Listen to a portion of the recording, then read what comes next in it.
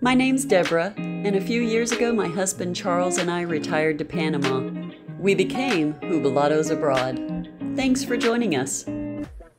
Hola, friends and family, welcome back. This is part two of our Bocas del Toro vlog, and I just wanted to let you know that it was one of the best second days of diving because almost as soon as we hit the water, in both the diving and the next day snorkeling, we got shark footage. It's so fantastic. It's one of our favorite things. Enjoy.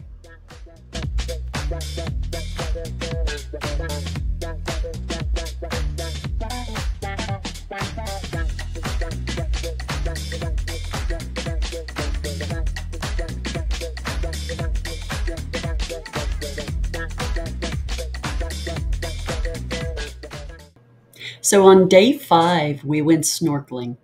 And a lot of the audio on the trip to the snorkeling site was actually blasted away by the boat motor, and I didn't have the attachment for the microphone that would have muffled that.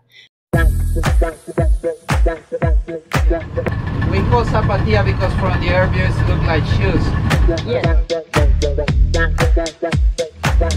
This is Las Zapatillos Beach, Island 1 and the water is so clear.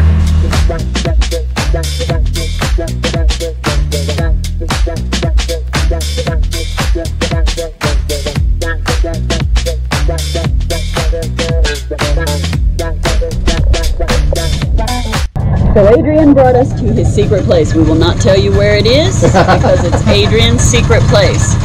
But we came around a reef and quite frankly, I was so invested in the brain corals that it surprised me to see a shark longer than me laying there with a remora right attached and it was just gorgeous and we sat there and looked at the shark for a while and he was really chill and so I'll be glad to cut that footage in. Um, but it was a great day, and Adrian's right. This is a fantastic spot to snorkel, and you don't get to know where it is. You'll just have to contact Adrian or Mo Moises, and they will take you there. Hmm? And we got to see dolphins and a shark. I am just, I feel great. It's a good day.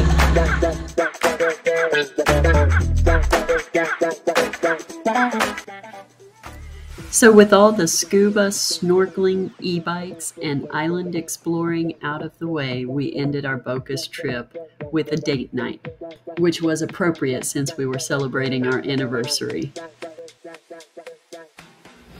Thanks for joining us.